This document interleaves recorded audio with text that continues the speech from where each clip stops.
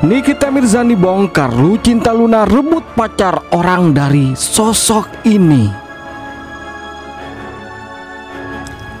Nikita Mirzani mengungkap kabar bahwa pendangdut Lucinta Luna sebelum berpacaran dengan Abbas merebutnya dari seseorang.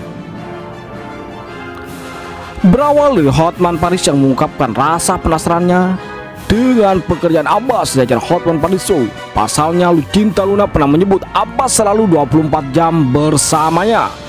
Namun ternyata Lucinta Luna enggan membeberkan apa pekerjaan dari Abbas.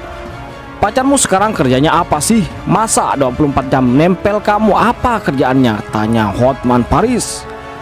Sebetulnya di balik layar dia punya pekerjaan khusus tapi ya pokoknya adalah aku nggak bisa kasih tahu jawab Lucinta Luna.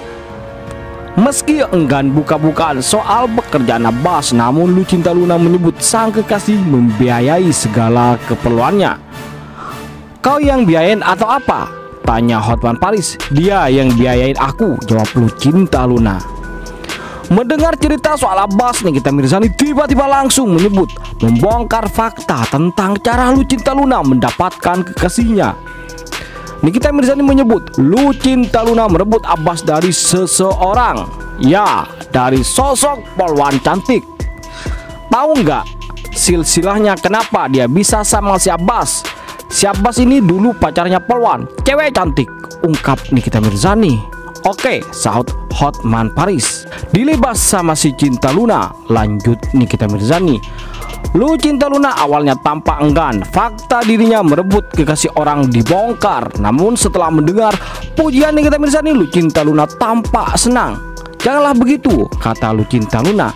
Kan memang benar Berarti kecantikan lu kan paripurna dong Ujar Nikita Mirzani Ya Lucinta Luna nomor satu terdepan. Sudah kata Lucinta Luna berbangga memancing tepuk tangan penonton Tuh kan gue belain, dibelain malah. Jangan begitu seru nih kita Mirzani Hotman Paris pun penasaran dengan hubungan Lucinta Luna dan Abbas yang kabarnya akan masuk ke jenjang pernikahan. Bahkan Hotman Paris sampai ingin tinggal satu hotel dengan keduanya.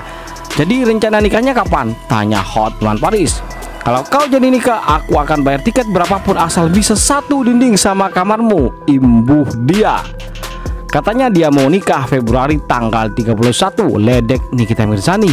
Mana ada, mana ada Ada 28 Itu mah Jawab Lucinta Luna cemberut Syok. Itulah guys. Aksi Nikita Mirzani Membongkar. Siapa sebetulnya pacar Lucinta Luna Yang direbut dari sosok polwan cantik? Lalu bagaimana menurut kalian? Jangan lupa komen di bawah, like dan subscribe. Terima kasih telah menonton.